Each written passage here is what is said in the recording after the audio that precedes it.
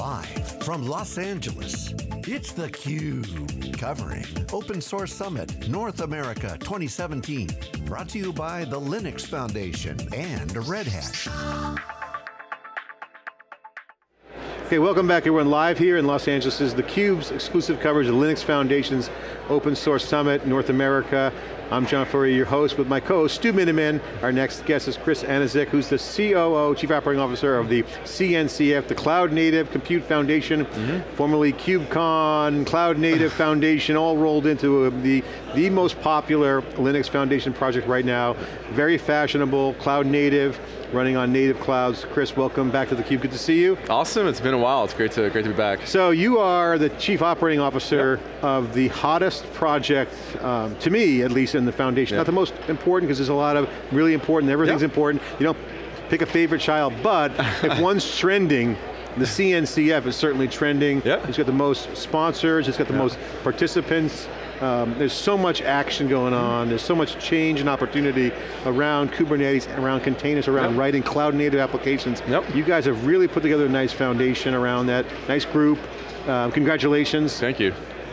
Take a step back and explain to folks, what the hell is the CNCF? We know what it is, so, we've been there present at creation, but yeah. it's super important, it's growing in relevance every day. Yep. Take a minute to explain. So, I mean, I mean, uh, you know, CNCF is all about providing a neutral home for cloud native technology, and you know, it's been about uh, almost two years since our first board meeting, and the idea was, um, you know, there's a certain set technology out there, you know, that are essentially uh, microservice based that like live in containers that are essentially orchestrated by some process, right? That's essentially what we mean when we say cloud native, right? And CNCF was seeded with Kubernetes as its first project, and you know, as, as we've seen over the last couple of years, uh, Kubernetes has uh, grown, uh, you know, you know, quite well. They have a large community, uh, a diverse, you know, contribution contributor base, and have done, um, you know, kind of extremely well. They're one of the, actually the fastest, you know, you know, highest velocity open source uh, projects out there. Maybe only, uh, you know, compared to the kernel is maybe a little bit, little bit faster, but it's, it's just great to kind of see it grow. And so, why is it, why is it so hot right now? What's the, what's the so catalyst? I, I think, you know, if we kind of step back and we look at trends in industry, right? Like more and more companies companies uh, are becoming you know, software companies, right? Like you know, folks like you know, John Deere are building IoT platforms. You, you need some type of infrastructure to run this stuff, right? Like, and especially at scale. Yeah. You know, imagine sensors in every like, you know, tractor farm or like in every vehicle, every, like, you're going to need serious infrastructure and cloud native really is a way to scale, you know, um, you know, those type of infrastructure needs. And so this is kind of, I think, why you're seeing a lot of, you know, interest being peaked in, in you know, CNCF related technology. A lot of yeah, prototypes too. Chris, you know, it's, it's interesting. I look back, you know, a year or two ago and it was like, oh, it was like, you know, the orchestration wars. It was like you know, Swarm versus Mesos, yeah. and now I look at it, you know, in the last year, it's yeah. like, wait, Mesos fully embracing it, Mesos Con, they're going to be talking about yeah, how Mesos is the best place to, you know, run Kubernetes on DC/OS. Yeah. Containerd now part of. Uh, the container know, wars, yeah. You know, the container wars, we're going to talk about OCI, you know, Amazon, Microsoft, of course, Google, you know, help there at the beginning. We, is, is there anybody that's not on board the we, Kubernetes train we, I mean, we literally have know? the top five cloud providers in the world, depending on you know what metrics you look like, part of CNCF. Um, you know, there's there, there's some others out there that still aren't fully, you know, part of the family. Um, hopefully, uh, you know, if you stay tuned over the next, you know, uh, week or so, you may hear some announcements coming from CNCF of other large, uh, cloudy type companies uh, joining the family. Every week there's a new platinum sponsor. you guys are getting a check, you know, every week it it's, seems like. Yeah. to me, it's great to see companies stepping up to the plate and actually uh, sustaining, uh, you know, open source foundations that are critical to the actual business. And you know, I think that it, it's great to kind of see this, you know, that this involvement. So I, I, to me, I'm personally thrilled because you know otherwise we'd be in a situation where you know if if the top five cloud providers weren't in the, you know, in the world, weren't part of CNCF, they may be trying to do their own you know, initiative. So it's great that we have these companies at the table and all trying to kind of build, you know, find their own pathway to cloud native, Are you guys are hyper growth right now, because and you're new too, you're still kind of, you know, Less than two years old. I mean, it's amazing. Yeah. So I want to put the little uh, Jim Zemlin test to you, which is, in this keynote today, you talk about, this is, this is the big 10 event for the whole community of open source to come together. Yep. And again, you talk about 64 million uh, yep. libraries out there now. He projected by 2026, 400 million. It literally is a hockey stick growth, so yep. you got growth coming. So he talked about four things, um, my yep. summary. Yep. Project health, yep. so healthiness, mm-hmm. sustainability, mm -hmm. secure code, yep. training, new members. Yep. What's your strategy via those four things? keeping the CNCF healthy. You don't, you know, eat too much and choke on all that growth. Yeah, so, yeah, so in terms of like projects, we have a very unique um, you know, governance structure in place when we designed CNCF. So we kind of have this independent uh, technical operating committee. We kind of joke, joke, jokingly refer to them as a technical Supreme Court, but they are made up of people from uh, you know, uh, kind of luminaries in the container cloud native space. They're from competing companies too, but they try to really wear an independent hat and make sure that we're projects that we're accepting are high quality, um, are, are, are, a good fit for the you know foundation, and so it's actually fairly hard to get a project in CNCF because it really requires the blessing of this of this TOC. So even though we have 10 projects now in about two years, I think that's at a you know, about a, almost let's say a, a, project every two months, which is an okay, okay pace. The other unique thing that, you know, that we're doing is we have different levels of projects. We have inception, incubation, and graduation. Right now we have no graduated projects, you know, in CNCF. Believe it or not, Kubernetes has not graduated yet because um, there's, uh, they're still finalizing their, their, their governance for the project and they're almost there. Once they do that, they'll most likely graduate. They'll walk cap and gown the whole nine yards. Exactly, right? it'll be great. Uh, well, yeah. In December, we'll have this uh, the cap and gown uh, ceremony. But the other unique thing is like we're, we're, we're not, uh, we, we do annual kind of reviews for some of our projects. Certain levels will be annually reviewed. And if they're no longer um, healthy or, or a good fit, we're, we're okay archiving them or telling, you know, you know, telling them like, you know, maybe you're not a good fit anymore for the foundation or like you're, you know, and so I, I, think having, you know, you have to have a process in place where sometimes you do have to move things to the attic. You so know, you have a high bar on the the, the, the initial project. bar is extremely, extremely high, and and you know, I think over time, we may have we may see some projects that get recycled or moved to an attic, or maybe even maybe merged together. We'll see. So we're thinking about this already. So um, okay, security. Security, so we, uh, all, all projects in CNCF that graduate have to partake in the um, uh, core infrastructure's best practices badging program. So CII has this great effort that is basically helping to ensure projects meet a minimum level of best practices um, that make their uh, projects secure. You know, it doesn't give you like a full-blown guarantee, but these are good practices. So you're leveraging pre-existing work, classic open source it, ethos. It, it, exactly, and, the, and they have like a set of domain experts completely focused on security, building out these practices, and you'll notice like Kubernetes recently merged in the CII best practices badge, so if you go to the README, you'll actually mm -hmm. see it, and then you'll click through and you see all the like things that they've had to sign off and check on that they participate in. And so we're going, all of our projects are kind of going Training. through this process. Training, uh, yeah, we just recently uh, announced a couple things. One is we have Looking a, good so, far, you're getting yeah, A+. plus. Yeah, yeah, so, service, we, so uh, as of today, we've launched the uh, Certified Kubernetes uh, Administrator Program, or CKA, for, you know, for short.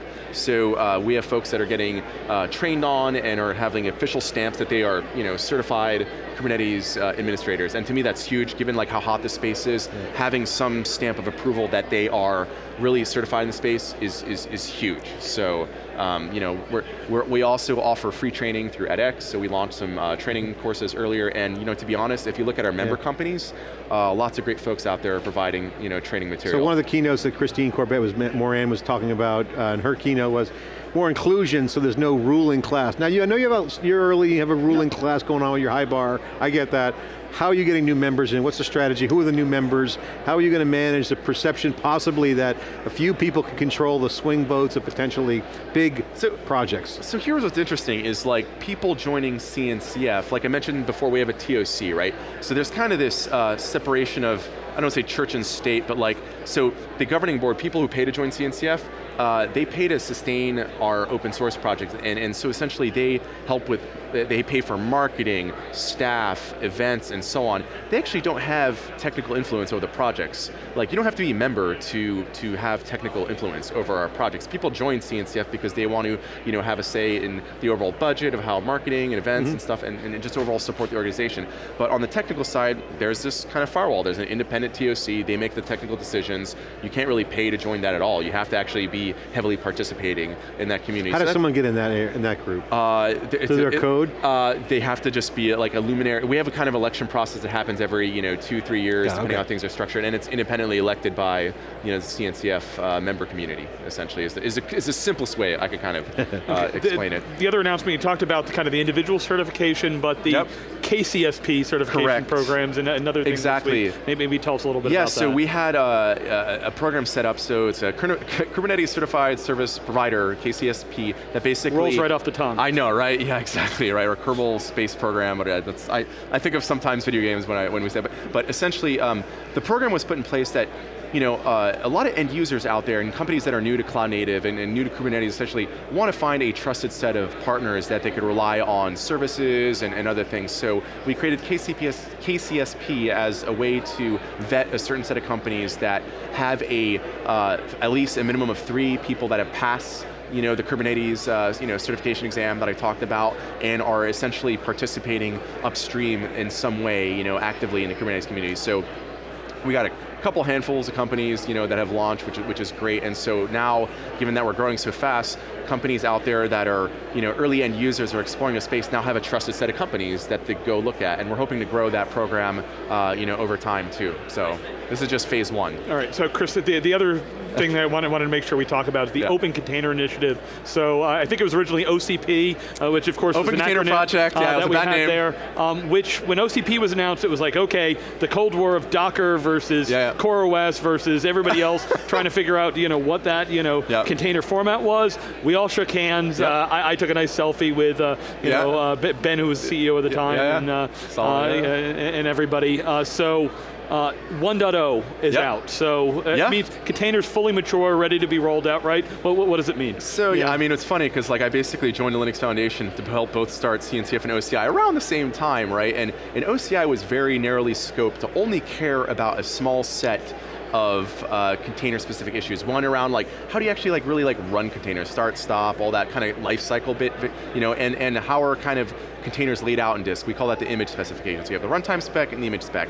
And those are just very limited core pieces. Like their OCI was not opinionated, opinionated on networking or storage or anything. Those are all left to other, other initiatives. And so after almost two years, we shipped 1.0, we got basically all the major container uh, players to agree that this is 1.0 and we're going to kind of build off from this. And so if you look at um, you know, uh, Docker with its Containerd project, they're you know, fully adopting OCI. The Mesos community is, Cloud Foundry, even AWS announced uh, their container registry supporting OCI. So like, we got the 1.0 out there, now we're going to see kind of uh, an abundance of people building tools and other things. You know, uh, I think you'll see more end users uh, out there exploring uh, containers. Like, uh, I've talked to a lot of companies that, that I can't necessarily name, but there's a lot of folks out there that may not dive into container technology until there is actually a mature you know, standard and they feel like this technology is just not going to you know, go away or they're going to get locked into some specific uh, platforms. So uh, with 1.0 out the door, um, you'll see over the next six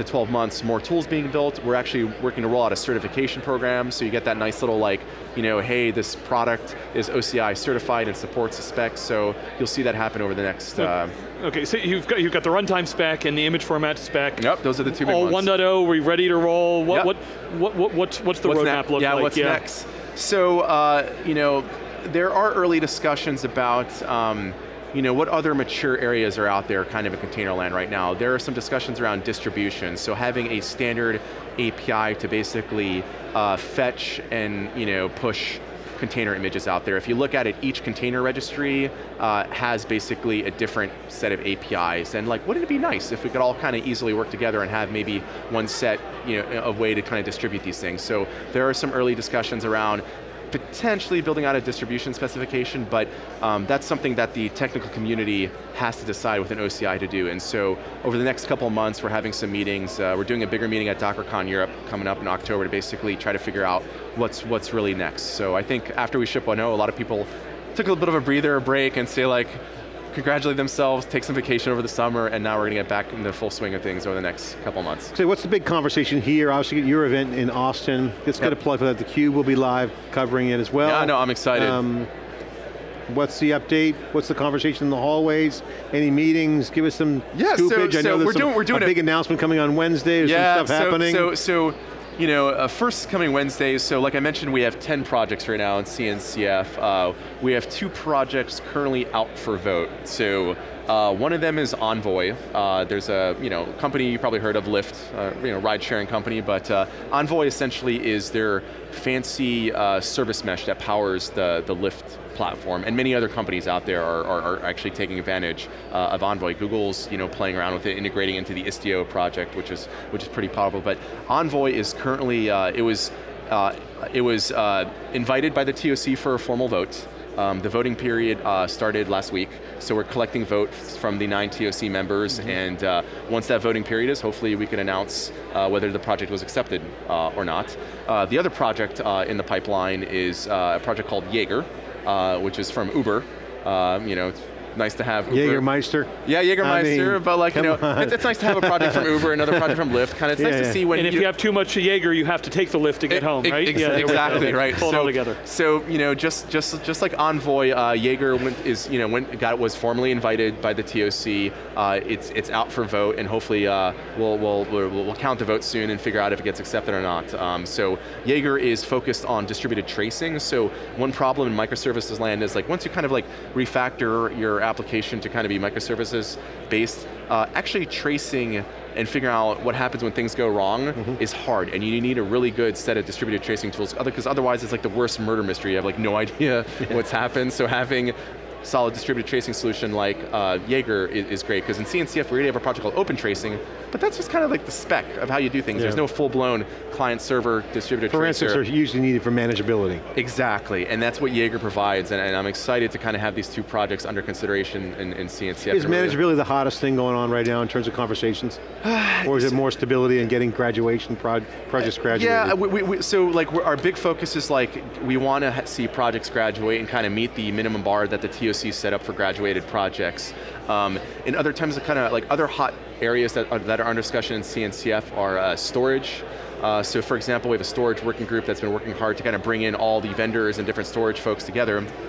And there's some early work called the uh, container, uh, something container storage interface, CSI, we call it CSI for short. And so, you know, there's another project in CNCF called CNI, uh, which basically tried to build a standard around how networking is done in container land. CSI is doing the same thing because, you know, it's no fun rewriting your storage drivers for all the different orchestration systems out there, and so why not get together and build out a standard that is used by Kubernetes, by Mesos, by Cloud Foundry, by Docker, and just have it so they all work across these things. And so that's what's happening. And that's still early days, but there's a lot of excitement in that. Okay, the event in Austin, what can people expect? KubeCon, You're literally going to have the biggest like gathering of Kubernetes and cloud native talent. It's actually going to be one of our biggest events, probably for the Linux Foundation at all. We're probably going to get you know three to four thousand people minimum out there, and I, I'm stoked. We're going to have some schedules not fully announced yet. I, I Yeah. you know, I, I do secretly know some of the keynotes potentially, but you know, just wait for that announcement. I promise you, Yeah. it's going to be it's going to be great. So. And one question I get, just I thought I'd bring up Yep. since you're here on the hot seat, um, a lot of people coming in with supporting you guys Mm-hmm. on the governing side, not influence technical. How are you going to service them? How are you going to scale up?